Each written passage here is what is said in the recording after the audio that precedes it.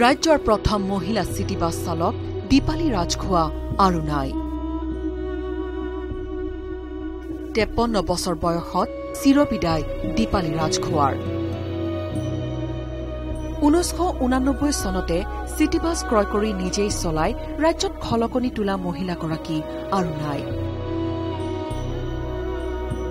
City bus চলোৱা ৰাজ্যৰ প্ৰথমগৰাকী মহিলা হিচাপে এটা চিনাকি নাম হৈ পৰিছিল দীপালী ৰাজখোৱা।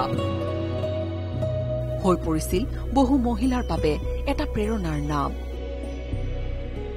বৃক্কৰোগত আক্ৰান্ত হৈ গুৱাহাটীৰ নেমকেয়াৰ হাস্পতালত চিকিৎসাধীন অৱস্থাত বৃহস্পতিবাৰে নিশা তেপন্ন বছৰ বয়সত চিৰবিদায় ললে তেওঁ।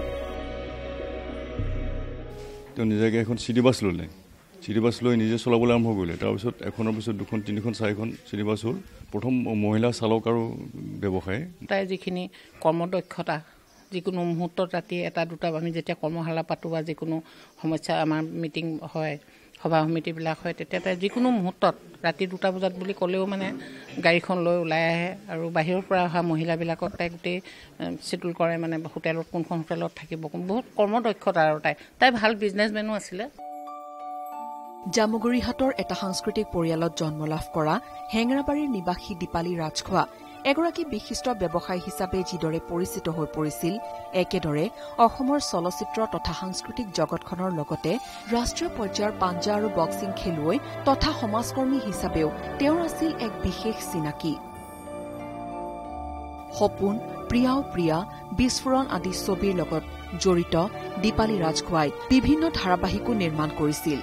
অসম প্ৰদেশ মহিলা কংগ্ৰেছৰ প্ৰাক্তন সম্পাদিকাও আছিল তেওঁ। দীপালী ৰাজখোৱাৰ মৃত্যুত শোকৰ চাপ পৰিছে পৰিয়ালৰ লোকৰ লগতে বিভিন্নজনৰ মাজত। উত্তৰ পূৰ্বাঞ্চলত মটৰ বাইক ৰেলীত অংশ লোৱা প্ৰথমগৰাকী মহিলা দীপালী ৰাজখোৱা।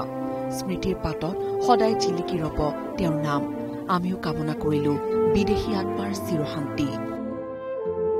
কেমেৰা পাৰ্চন মানৱজ্যোতি কলিতাৰ সৈতে Surajit Saikia news eighteen Assam North East.